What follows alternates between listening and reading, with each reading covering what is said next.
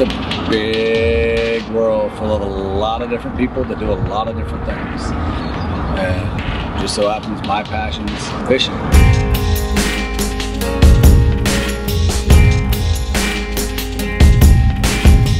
I started fishing the redfish tour when I was around 23 years old. Uh, after I caught a redfish, I bought a boat.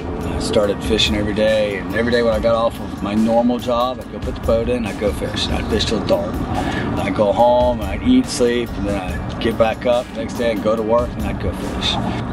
And one day, I was sitting there and said, okay, I'm gonna become a guide. And I went and got my captain's license. And I said, I'm not good enough to do this. And then another year went by.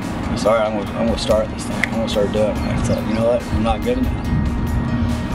And I kept telling myself that until I knew I was good enough. I'd still work two jobs uh, and did this on the weekends, and then I'd do it on the afternoons whenever I get off of my normal job. I'd go run a charter or a harbor tour or something like that.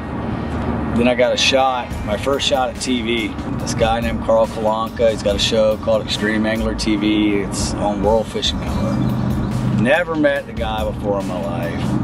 I shot him a message I was like, hey man, you ever caught a redfish before? If not, I'm the man to put you on. So I went out and shot a bunch of video and sent it to him. He called me like 30 minutes after I sent it. He goes, I'll be there in three days. And uh, we filmed two episodes of his show together. And Carl's become one of my best friends. We've shot a bunch of other shows since then. I did Top Hooker on Animal Planet. I zip lined with a net and scooped fish up. I caught fish off of a water tricycle. Caught fish out of tree stands. Off round inner tubes, square floating dock pieces. But to the end of it, over the course of two days, um, I wound up winning. I need to believe in myself. And if you don't believe in yourself, then nothing's possible.